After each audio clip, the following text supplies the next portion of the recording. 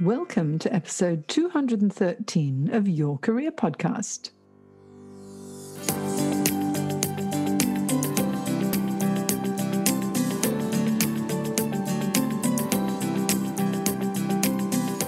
Welcome to Your Career Podcast, the podcast where you will gain careers inspiration and support.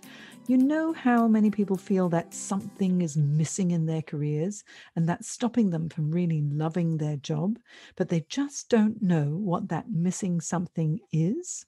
Well, in the Careers Academy, I provide the step by step process to help you to gain clarity of purpose so you'll make the right choices and create a career you'll truly love. You'll also find me on Clubhouse every Monday evening at 7 to 7:45 p.m. Sydney time where we can get to know each other in my clarity and confidence for your career success Clubhouse room. So follow me at Jane Jackson on Clubhouse and visit www.thecareersacademy.online for my free resources to ensure your job satisfaction. Now, in this episode, I am very lucky to have the lovely Cayla Dengate, who is an editor at LinkedIn News, to join me. She's a journalist with proven digital media skills and a passport full of stamps. She's lived and worked in the Philippines and an Aboriginal community, and she's passionate about looking beyond the breaking news cycle.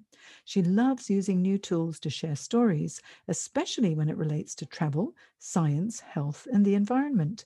Her career highlights include interviewing everyone from former Prime Minister Kevin Rudd right through to Snoop Dogg, as well as traveling on assignment to Fiji after Cyclone Winston and producing travel journalism about active volcanoes, camelback treks, and shark dives.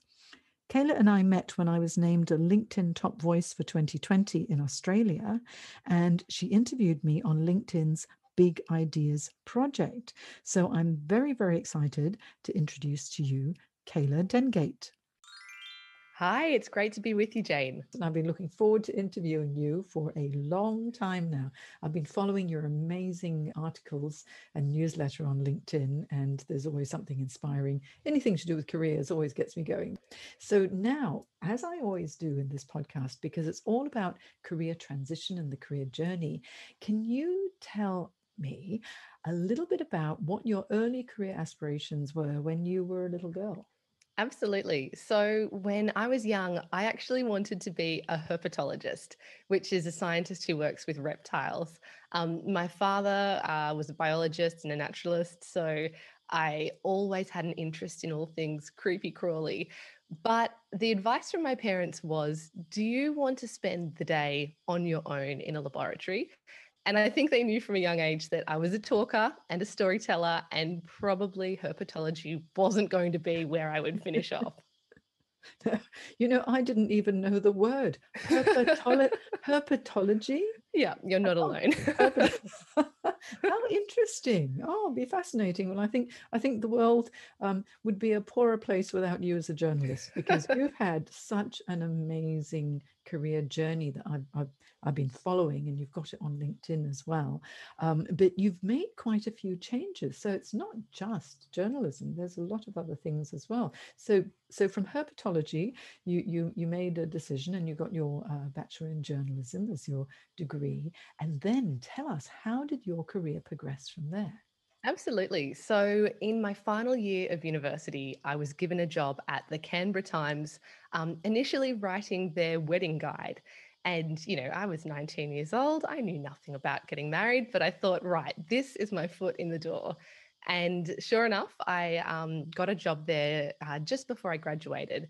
And um, yeah, the Canberra Times was where I, I first got to, you know, write news articles. I, I pitched my own column, which which got up, and um, I became the fashion editor for a time. It was really my proving ground where I could dabble in all the things that a 20 year old is interested in. Mm. And you were, I think, the very youngest um, uh, columnist in the Canberra Times, weren't you? And you got to interview one of our prime ministers. Now, I, I know you were there, I think it was from 2005 to 2009, I think. Sounds about right. yeah. And so there were two president, uh, two presidents, two prime ministers. Uh, there was John Howard and Kevin Rudd. Which one did you interview? It was Kevin Rudd just as Mhm. he was arriving uh, in Canberra. Um, and yeah, that was that was a real career highlight. And typical to my style, it wasn't hard hitting journalism. I was talking to him about relocating his pets uh, to Canberra, which you know I, I suppose I I can do the hard journalism, but I like to tell stories and I like to get people speaking from the heart. Mhm. And there's nothing like pets to do that. Yeah, and also I think it's so important when you when you are storytelling uh, to get to know the the real person behind their public persona, and you know everybody's human after all, and we tend to put you know leaders and politicians up on a pedestal, um, and then getting to know them as as real people must have made such a difference. But what a brave move at the age of nineteen!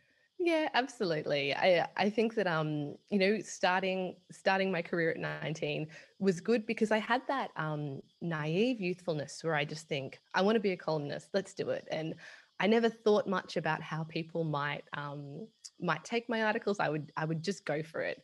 Mm. And it's it's funny that as you get older and more experienced, it's a little bit harder to put your hand up and say, I want to be a columnist or I want to write a book or whatever whatever your ambitions may be. Mm. You know, you you had an interesting transition though, because then you you were in the Philippines for a period of time as a lecturer for um now have I pronounced this correctly? Bicol University? Bicol Bicol, University. Bicol, Yeah. Bicol University, and and you, you were creating a curriculum program there. Yeah, absolutely. So that was part of what used to be called the Australian um, Youth Ambassadors Development Program. Uh, so it was an Australian government volunteering program. And um, I went to the Philippines. Uh, it was one of those moments where my my boyfriend, who then became my husband, and I sold everything we owned and flew to the Philippines and didn't really know what to expect. And I had the best year of my life there and i think i think it was it was the first place where i really understand understood that it's not my job to fix everything it's it's just your job to to live your life and get to know people and get to understand a little bit more about the world that we live in Mm, mm, what a great opportunity to be able to just pick up and move and experience a completely different culture. And Yeah. how did you find assimilating into a new culture? Yeah, it was interesting. I I love Filipino culture and I love the friends that we made. So I was really lucky that at the university there were a group of lecturers who were so much fun and we would catch up at least once a week. And then the community or the barangay that we lived in, there was a family very close to us that we became really good friends with. So there was always a basketball game happening out the front or people coming over or you know somebody you know calling and saying you know we're all at Gustaf's you know this bizarre German restaurant in the middle of Legazpi where we lived so it was one of the most social and happy times of my life Mm, and you know one one thing that I really took home um, from being in the Philippines and being around Filipino culture is is just that idea that that you get on and do it with a smile on your face and um, put family first. I think that's a really important part of Filipino culture that your mhm, family is first and everything else flows around that. Mhm. Yeah, I, I know.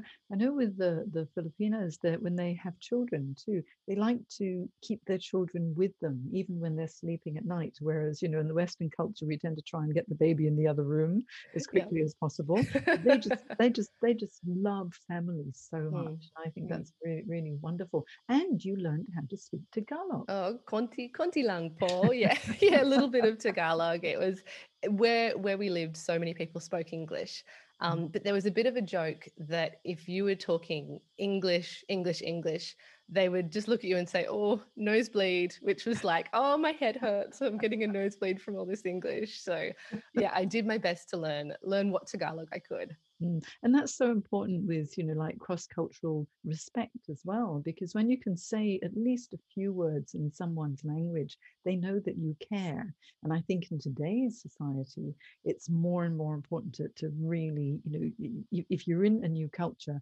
learn what that culture is all about. So um, Absolutely, it yeah. must have been a great phase in your life. And now the Filipinos are very, very good musicians, and Yes. there's music in your life as well. So tell me about this music video site and how did all that come about?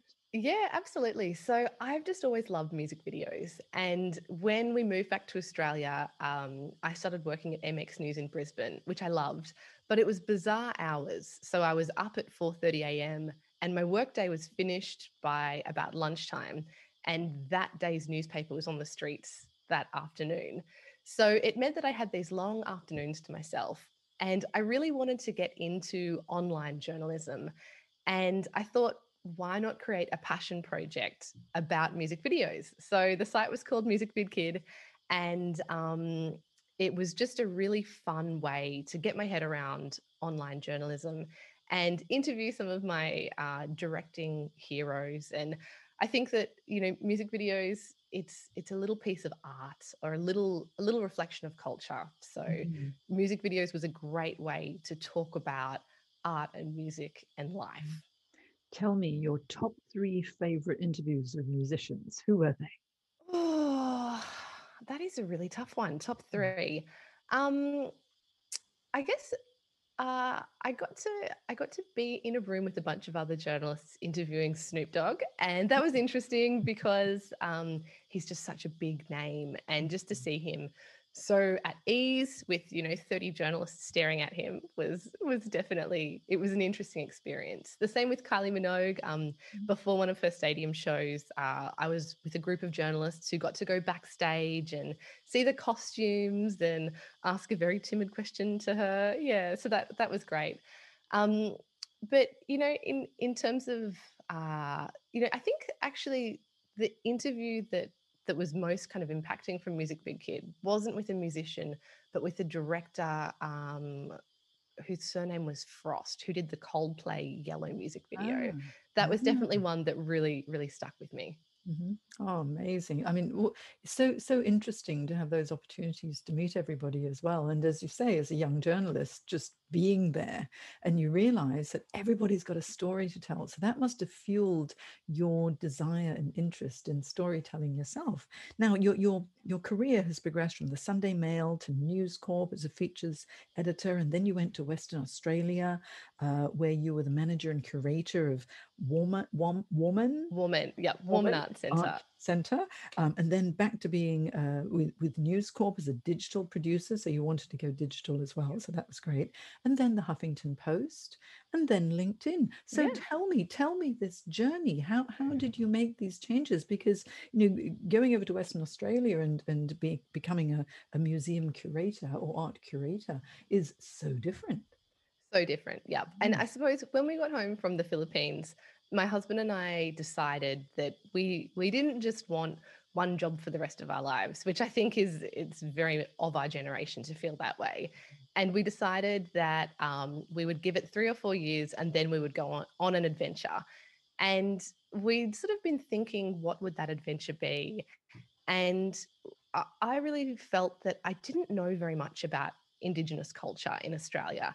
And that was certainly a, a blind spot in my knowledge and you know my my husband you know worked in the arts and we got in touch with a friend who worked at an aboriginal arts center and said hey do you have any advice for us? You know do you do you know where we should look for jobs? And she said we've got two jobs going right now um, so it was another one of those moments where we sold everything we owned. We packed, we bought a, a, a, big tough car and we filled it with all of our stuff, including a coffee machine, which was a real yuppie move looking back. And we drove to Warmun, um, sort of up to Queensland and around.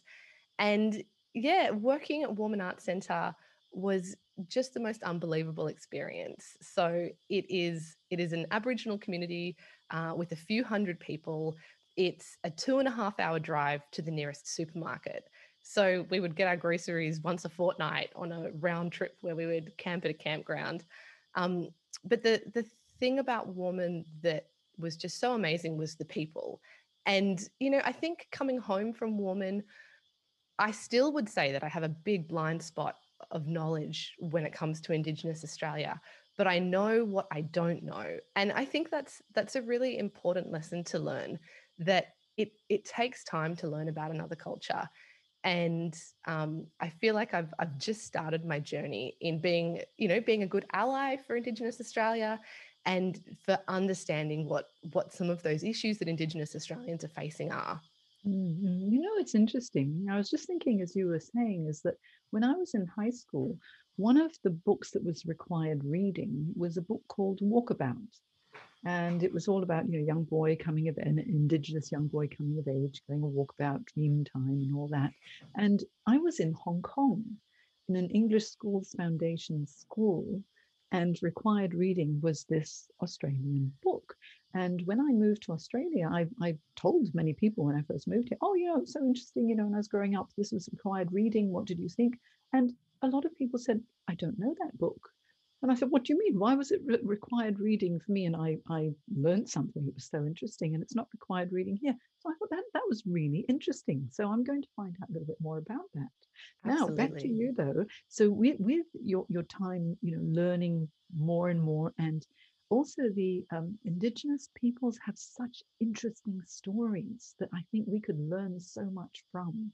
Um, yes, so I'm sure that you've brought that into your journalism as well. So from there, you joined News Corp, or you returned to News Corp, yes, um, and then Huffington Post. So tell me about those transitions. Yeah, absolutely. So I um, came to work at my childhood local newspaper, the Manly Daily, and that was that was a lot of fun. Um, it was a smaller newsroom than I was used to, uh, writing on far more local news, and I loved it it's you know if you if you talk about storytelling and telling stories um, the the people who you would speak to uh, would I, I, suppose when you're in a big big newsroom you often talk to media managers who are very polished who are giving you the quote and that's it mm-hmm. but community news is so much more about hearing hey you know talking to the the barista when you get your coffee and they tell you a story and you follow it up and next thing you know you've got a front page story. Mm. and i really enjoyed it. I also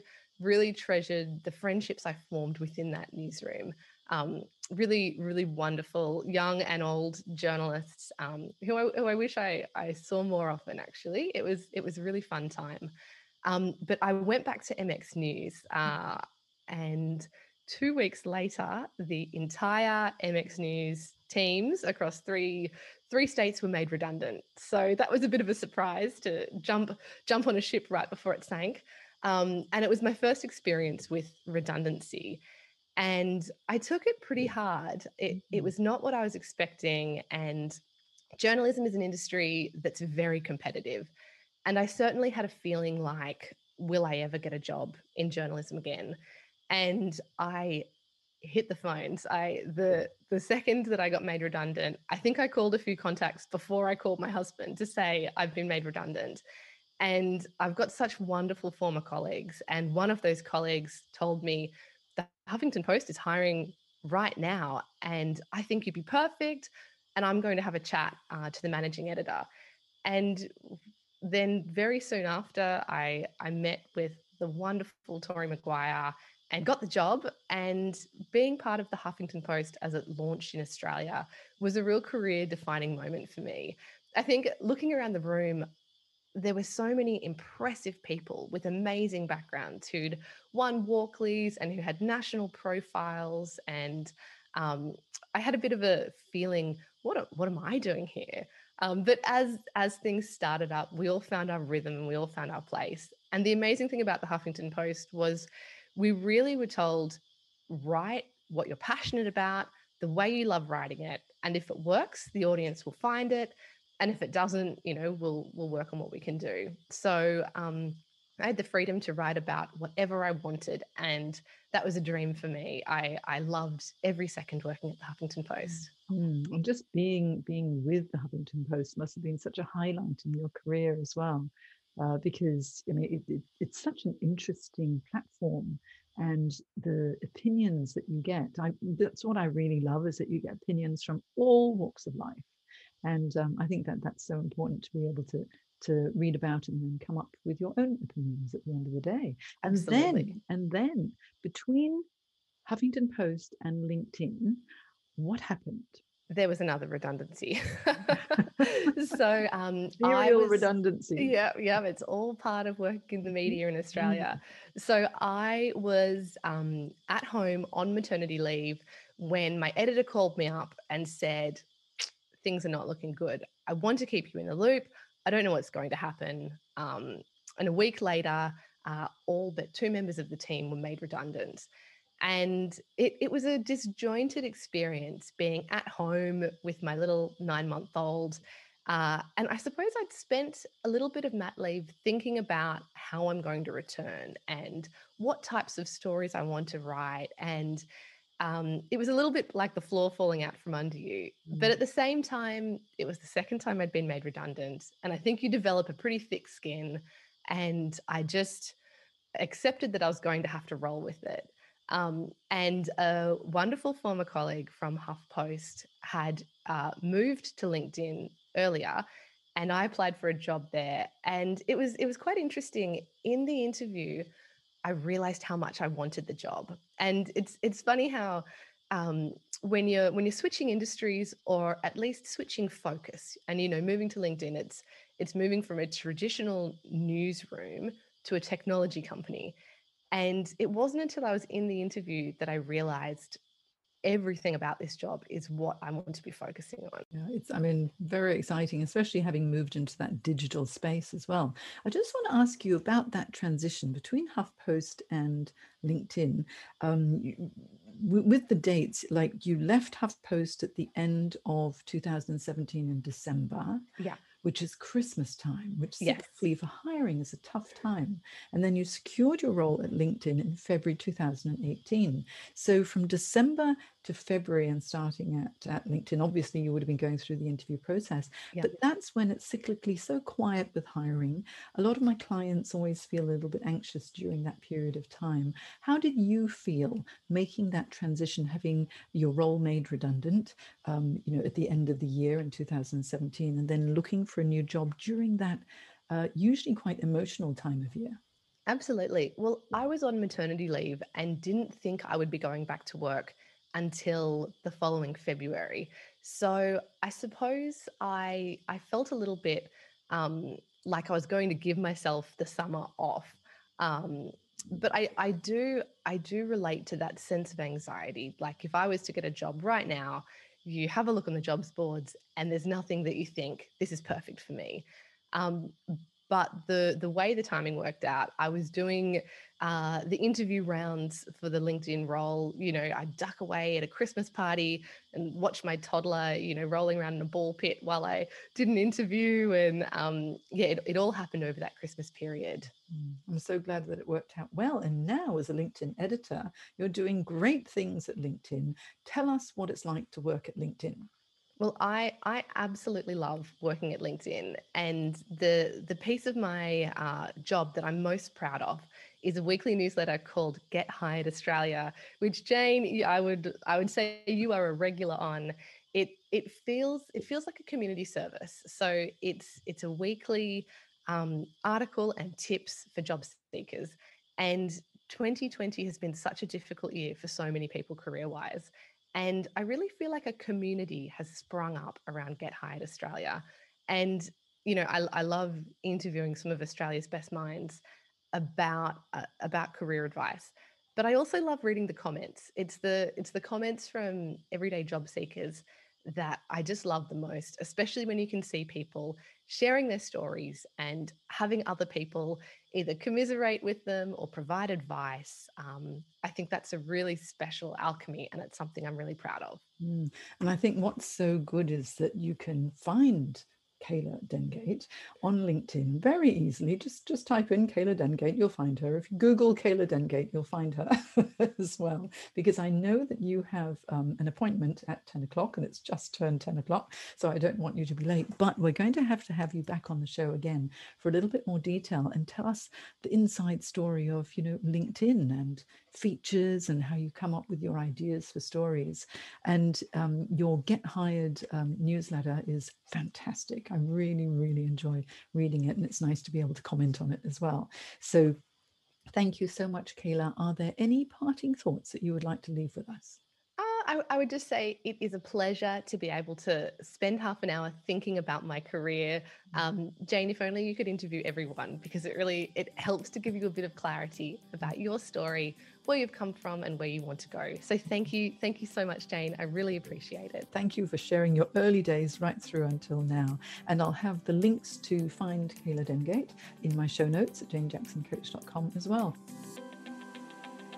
If you enjoy your career podcast, please hop over to iTunes and leave a review because that's how we get to reach more people. And if you need help in your career, go to www.thecareersacademy.online where you'll be able to find lots of online programs as well as one on one coaching with me. See you soon.